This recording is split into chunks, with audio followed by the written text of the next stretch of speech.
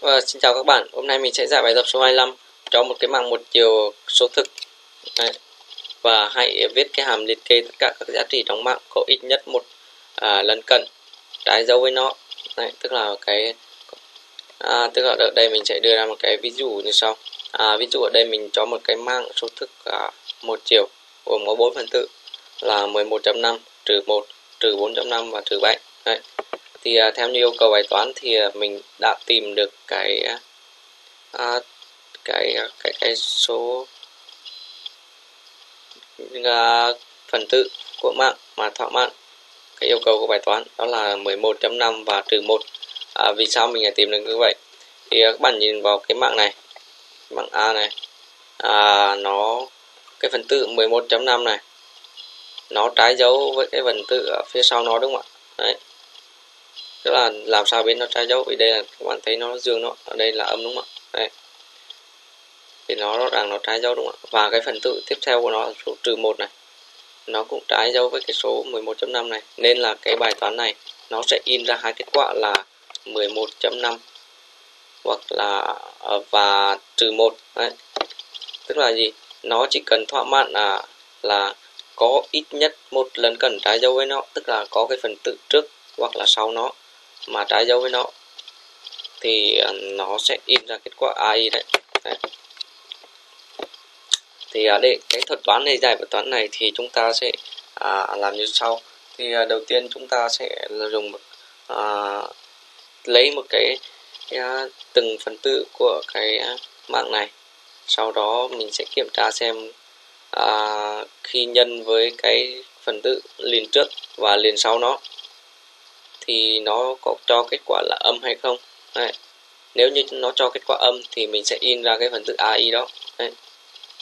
mình nói lại một lần nữa à, chúng ta sẽ lấy cái phần tử AI của cái mạng A đó bằng cách sử dụng một cái vòng lặp for Đấy. và sau đó sẽ lấy cái giá trị AI thì đó và sau đó sẽ kiểm tra xem nó có phải là cái giá trị mà có lần cần trái dấu với nó hay không? Bằng cách ta lấy cái giá trị AI đó nhân với cái giá trị đứng trước nó hoặc là đứng sau nó liền trước hoặc liền sau nó. Nếu như kết quả cho một cái giá trị bé hơn không tức là âm thì mình sẽ in ra cái giá trị AI đó. Đấy.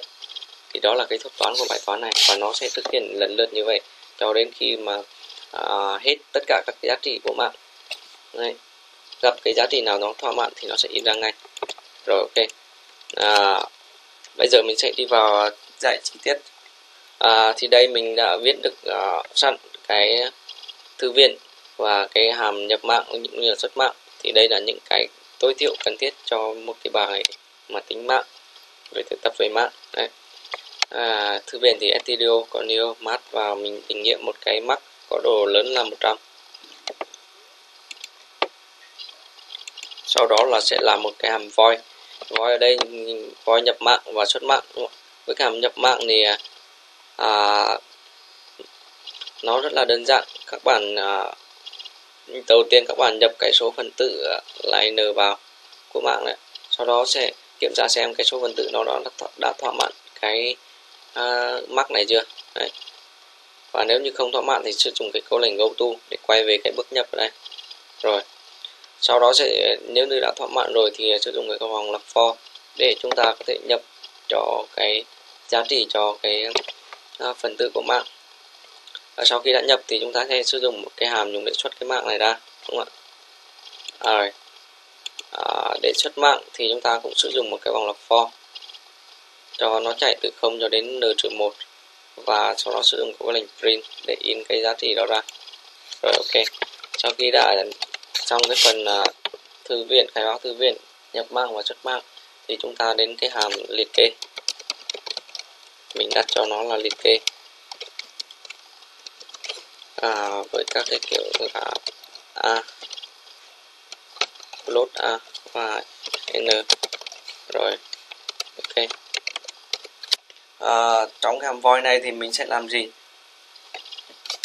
Thì mình sẽ sử dụng một cái vòng lặp for để đi đến từng cái phần tử của uh, cái uh, mạng à, a một chiều a.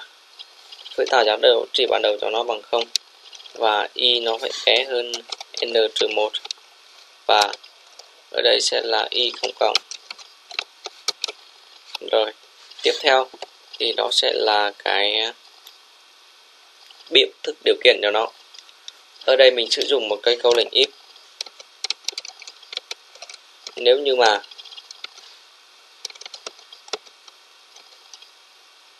à, cái phần tử AI này nó nhân cho cái phần tử A y trừ một tức là nó cái phần tử AI nó nhân với cái cái phần tử đứng trước nó. Đấy trong cái mạng một chiều đấy mà nó bé hơn không. Hoặc là dấu ngoặc thì các bạn dùng cái dấu ký hiệu này. Đấy. Cái phím à, ở bên trên cái phím enter đấy. Rồi ok. Hoặc là cái phần tử AI này. Chúng ta khi nhân với cái phần tử đứng liền sau nó.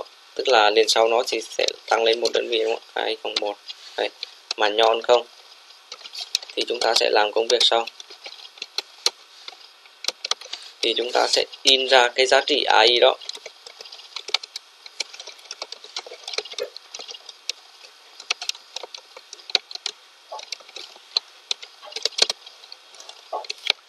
AI là một số thực đúng không ạ? Đây chỉ kiểu dữ liệu của nó sẽ là một kiểu số thực.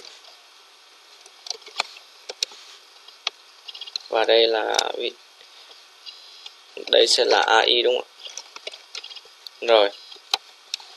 Như vậy là mình đã xong cái hàm liệt kê. Đấy. Cái câu lệnh if mình giải thích lại một lần nữa này. À, lúc đầu mình đã đưa ra cái thuật toán nếu như cái phần tử AI này nó mà nhân với cái phần tử trước nó này đứng trước đứng liền trước nó mà bé không hoặc là cái phần tử AI này nó nhân với cái phần tử đứng liền sau nó mà bé không thì nó sẽ in ra cái phần tử AI đấy thì đó là cái ý nghĩa của cái uh, cái uh, if này và cái hàm liên kê này thì nó sẽ tạo về một cái chuỗi uh, cái dạy những cái phần tử thỏa mãn yêu cầu bài toán.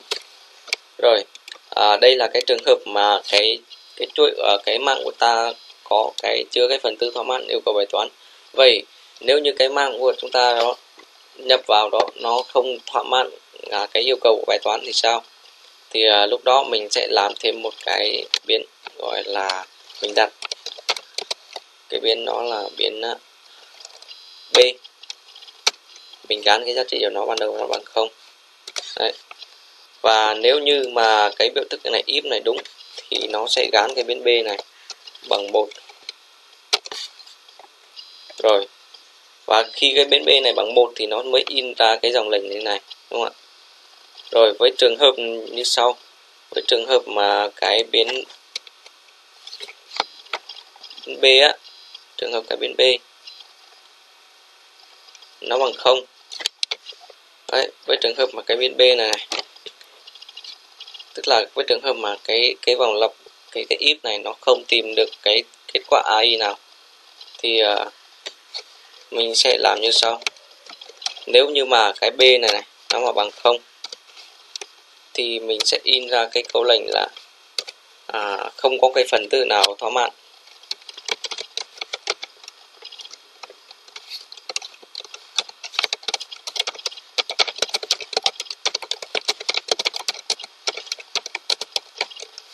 đúng không rồi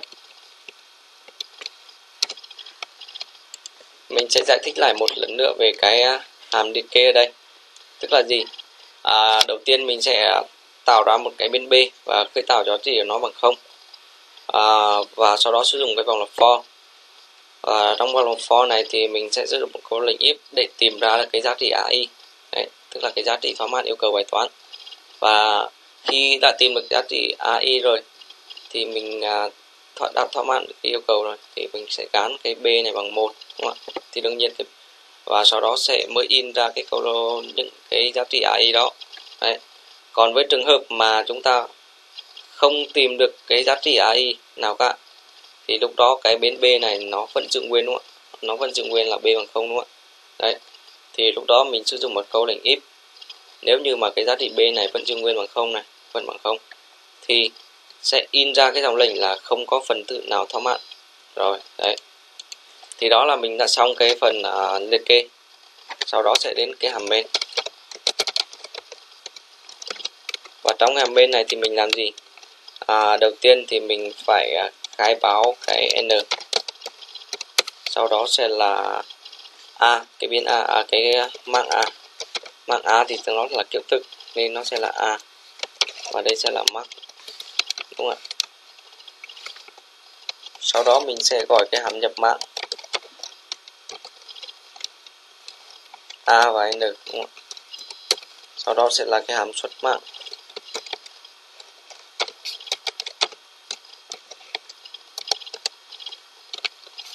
À, ở đây vì sao nó phải báo lỗi đúng không ạ. Khi các bạn trọ vào thì nó sẽ xuất hiện lỗi lên ngay.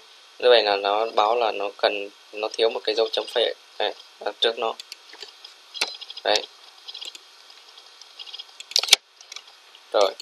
Sau khi uh, gọi cái hàm xuất mạng và nhập mạng thì chúng ta sẽ gọi đến cái hàm uh, liệt kê đúng không ạ? Các bạn chỉ cần bấm y nguyên cái tên của nó.